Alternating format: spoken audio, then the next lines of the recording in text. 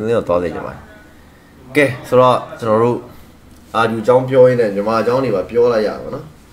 ဆိုတော့ဒီလောက်ပါပဲဇေယျကတော့ညီမပီကြောင်းနေလို့ကြားတယ်သူဘာဆက်လုပ်မလဲတော့မသိဘူးတကယ်အဲကျွန်တော်တို့ကမနေ့ပြန် pocket လုပ်မှာမနေ့ပြန်ကိုတပတ်ကာတင်တယ်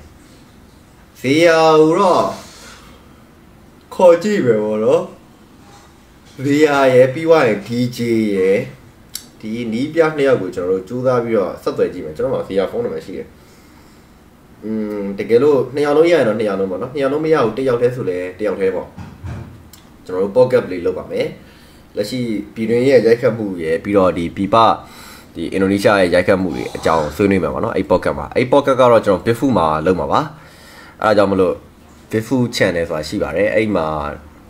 pocket လေးကိုလာနားထောင်လို့ရပါတယ်ကျွန်တော်တို့လှုပ်ဖြစ်ရင်တော့ညပိုင်းလောက်ပဲလှုပ်ဖြစ်ပါမယ်နော်အဲနီးပြတွေကြီးပဲစုပြီးတော့အဲ့လိုမျိုး pocket လှုပ်ချင်တာတော့ကြာပါပြီ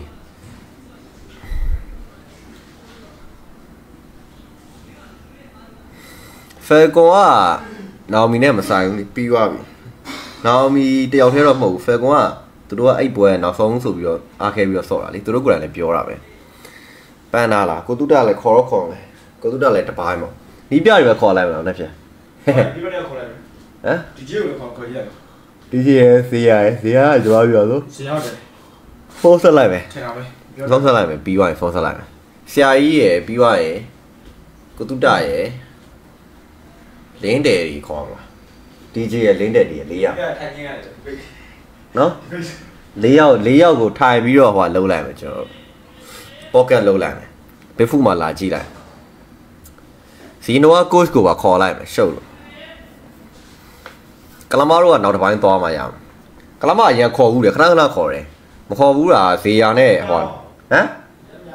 ရဲများอ่ะလူရဲများอ่ะလူလည်းမရလူရဲများလို့အဆင်ပြေ pocket လို့ channel မှာ announcement announcement တော့လုပ်ပေးမယ် live တော့မလုပ်ရင် channel W ပါအဲ့ဒါဒီဟွာရဲ့ Bigfoot ရဲ့ exclusive ဟွာမလို့ program မလို့အဲ့ဒါဇေဟာနဲ့ maybe ကို vibe ပြပါတယ်ကြောက်ပြီ